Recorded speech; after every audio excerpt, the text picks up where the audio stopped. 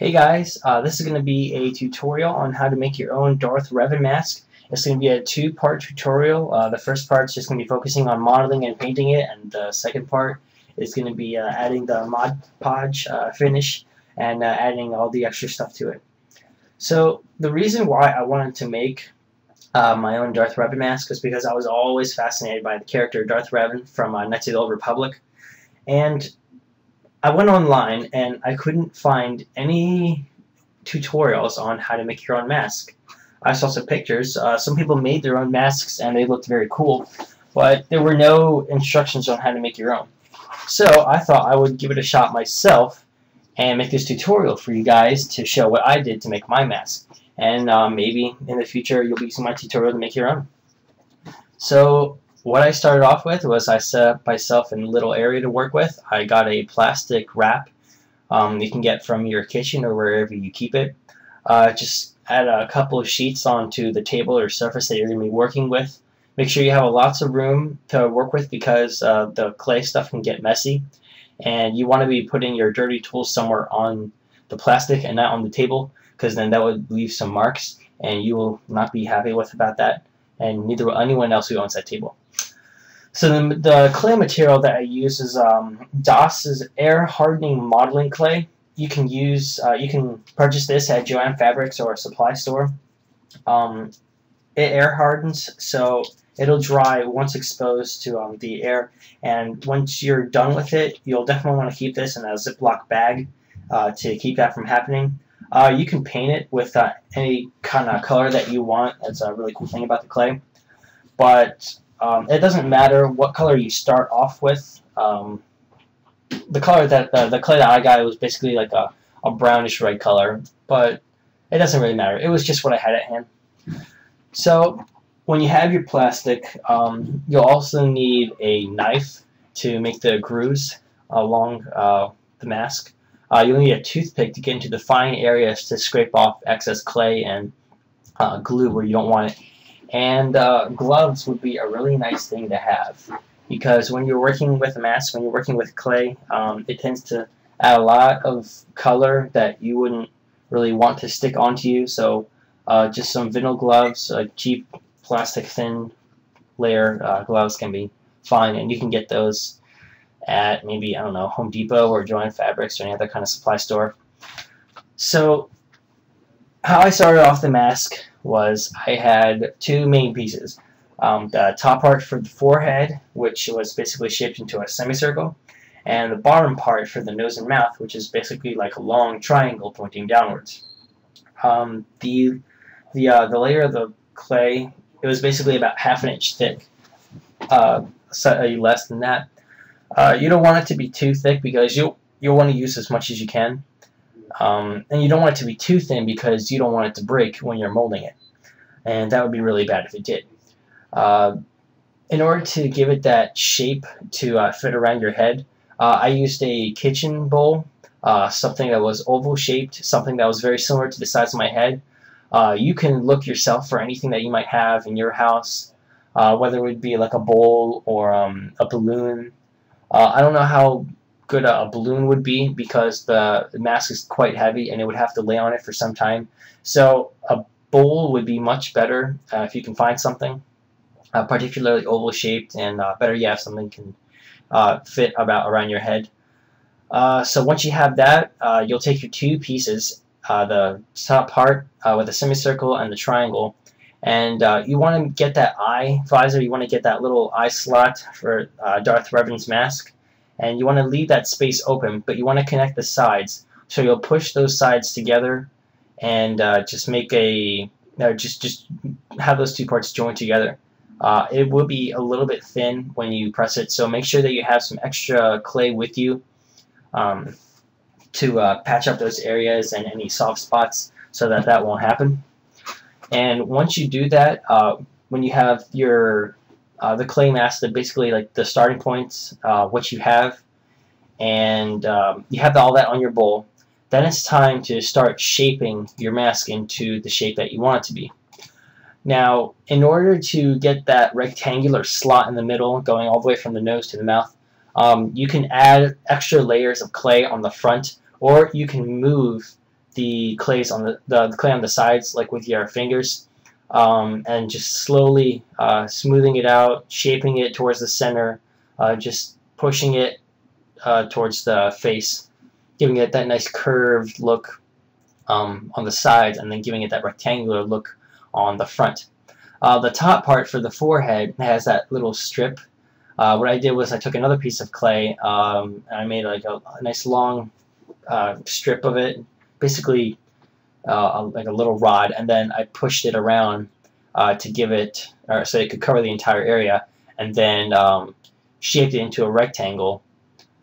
And uh, I made sure that the eye slot uh, in between those two parts, it would always stay the same size all the way around. Uh, you can just use your knife to go back and forth onto those two sides inside. Make sure that um, it's not closing in on, closing in on itself and uh, just be careful for where the the eyes, um, the endpoints for the eye slot, uh, where your two main pieces connected. Uh, there might be a little gap in there, so make sure that you fill that in with clay, um, and make sure you press down on it. It's I prefer using a toothpick to make sure that uh, that clay gets in there because it is a, a small area. Uh, depending on how big you want your eye uh, your um, eye slot to be, um, I would still use a toothpick in general. So once you have that down, uh, you'll be putting on, uh, you'll be making the grooves for your face. Um, this mask does take a lot of time to make, so uh, you'll need to have a lot of patience. Shaping it, first of all, will probably be the hardest part because when you shape it, once it dries, there's no going back. So make sure that when you're shaping it, you're pleased uh, with what you have and um, when you're ready to continue on, when there's no more changes that you can make, then you can move on. Uh, so the grooves will come after you're finished with the shaping of the mask. And once you're done with that, uh, when you when you have when you see what you like, you know when you like what you see, uh, you'll start off with the grooves. Uh, you'll be going to your reference picture, uh, assuming that you're using one, and just being careful and going over all the parts where uh, you see the grooves. Uh, I used a kitchen knife to cut out the slots, and you don't want to cut them too deep because then you'll be cutting um, it through the clay, and when it dries, your mask is going to be breaking in two, and you do not want that. Uh, but you also want to make sure that it doesn't look like it was a bump or basically just like just a little dent in the mask. Uh, so you want to cut it, um, but you want to make sure that it doesn't really go in too deep. Um, just enough so that you can see the uh, sort of like the engravement lines all around the mask and uh, it, is, it still keeps itself together. Uh, you'll be able to strengthen all those grooves out when you put the um, layer of glue on it so that it'll be closing in on itself a little bit uh, tighter. Uh, it'll look a lot cooler when it's finished and it keeps it uh, keeps itself together a lot easier. Uh, so when you're doing the grooves, uh, make sure that you um, keep the shape of the mask, uh, especially the rectangular part and um, the curves. Uh, make sure that the top slot for the, the forehead piece, when you put that strip on, um, it's supposed to look like uh, another piece that's sticking out. So you can add a, you can make a, a groove uh, right on top of the slot where it connects with the forehead and you can just uh, use a toothpick to um, finish it up and make it look nice and neat and rectangular and flat.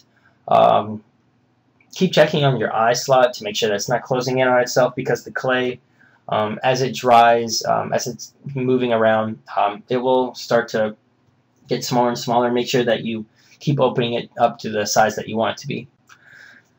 So once you have the uh, grooves done in your mask, uh, you'll have uh, the two little uh, dots on the bottom. I took a toothpick and made the circles um, with a toothpick as well. It did take a while because um, I had to be very careful and I had to get that shape and that look to it.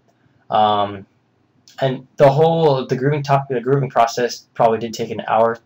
Um, it could have taken longer depending on how detailed uh, you want your mask to be. Um, but uh, it turned out pretty well for myself.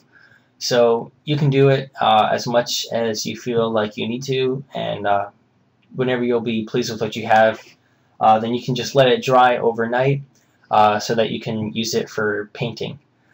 Now, well, uh, it does take a while to dry because it's an air hardening clay and you want to get all that water to evaporate from it. So I, I would probably wait through the night and then the next day um, it should be it should be dry enough to handle. It should be preferably easy to take it off of the bowl. Uh, you still want to be careful when you're doing it uh, because you don't want to break anything and the clay is still fragile especially at the weakest parts um, where the eye slots are because uh, there's a very there's like a very little bit of clay there, and uh, you just want to be very careful with it. So in order to strengthen it, uh, in the inside you'll immediately notice all the cracks that you have in your mask uh, from putting the clay on. What you want to do is you want to take um, some glue, like say Elmer's glue or an adhesive. You probably get that from your hobby shop uh, or Jo-Ann Fabrics. And uh, you want to go over all the cracks. Make sure that the glue fills in um, anywhere that you see the cracks, anywhere that you see the holes, you want to make sure that you fill up that you fill those up uh, because you don't want your mask um, to be having any uh, fracture points, any weak spots that uh, could cause it to crack um, at a moment's notice. Uh, you also want to go over the uh, edges of the mask with glue to make sure that it's a lot smoother on the outside and it would it would be easier to handle. Uh, the visor, the eye slot, you also want to put glue over that to make it smoother, uh, especially to see through. Uh, and just make sure, once again, that you have all the cracks taken care of and your glue is drying within, uh, I would say, a few hours. Uh, it does take a while for glue to dry. Uh, some some some glues it doesn't take that long at all, but on clay for some reason there's a lot of moisture that is uh, involved with it, and it seems like glue takes a while to draw uh, to yeah to dry on clay because it's uh, for one thing it's cold because uh, of the water and to just evaporate. So depending on how long your glue takes, I would just leave it alone.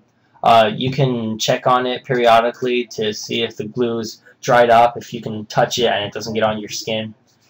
And depending on how long that takes, um, you'll just you can just wait a while, um, just let it sit there. Um, if you have a fan to help it blow to keep the air coming in and drying it off, uh, that would help a lot because uh, that will speed up the process to let it dry up.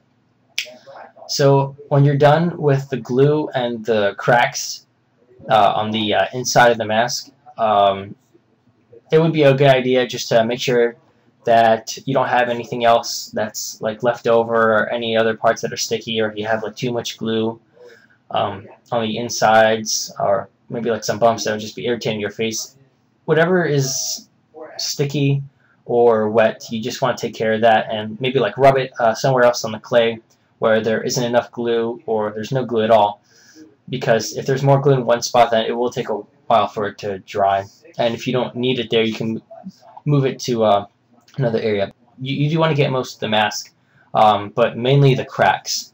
That's what you want to worry about because that's where the fracture points are, and those will increase the chances of your mask breaking. So I'm going to stop the tutorial here and um, stay tuned for part two. Uh, part two, we're going to be looking at putting the coating of Mod Podge on the mask, uh, giving it that nice um, color and um, we'll be painting it for well, with the colors that we want too. So um, take care and stay tuned for part two.